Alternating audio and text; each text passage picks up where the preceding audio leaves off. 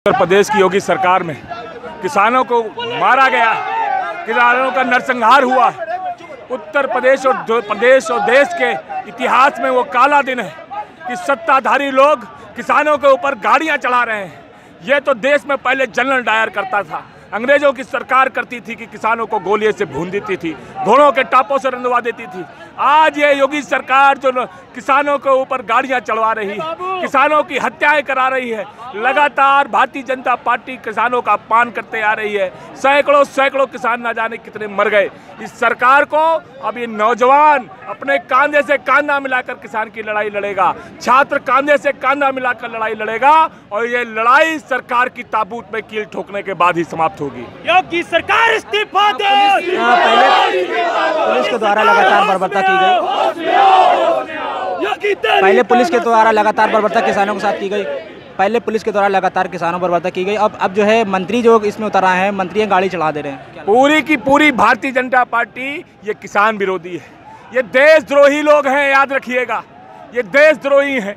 अगर हिंदुस्तान में किसान की बात नहीं हो सकती तो कहाँ बात होगी? इस देश में, इस प्रदेश में किसान की बात नहीं होगी तो किसकी बात हो?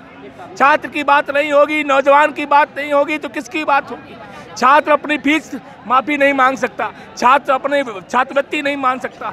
दलित छात्र ज़ीरो फ़ीस पर एडमिशन बंद कर दिए जाते हैं। नौकरी के नाम पर ठगा जा रहा है, पैसा लूटा जा रहा है। अगर ये उत्तर प्रदेश में भारतीय जनता पार्टी की सरकार जो लगातार किसानों पर नौजवानों पर छात्रों पर न्याय कर रही है ये देशद्रोही सरकार है और इस देशद्रोही मुख्यमंत्री को इस्तीफा देना चाहिए। अखिलेश यादव को रोक दिया गया यहाँ पर क्या कहेंगे? जब जब हमारे नेता जब जब ऐसी परिस्थितियाँ आई आपको याद होगा पिछले साल भी जब किसानों का आंदोलन हुआ तो यहीं पर पुलिस ने रोकने का काम किया था और उनको गिरफ़्तार करने का काम किया था। जब जब हमारे नेता सड़कों पर संघर्ष के लिए उलटते हैं पुलिस इसी तरह घेर लेती है और इसी तरह उनको आगे नहीं जाने देती। आज समाजवादी पार्टी पहले दिन से सड़कों पर संघर्ष कर रही है और जीवन अमृत करते रहेगी जब तक किसानों का छात्रों का नौजवानों का गरीबों का मजदूरों का किसानों का हक ना मिले। उस हक की लड़ाई हम अपने खून पसीने से लड़ेंगे। आज का तो प्रदर्शन है कब तक चलेगा ये? ये जब तक किसानों को न्याय नहीं मिलेगा तब तक ये प्रदर्शन लगातार चलता रहेगा।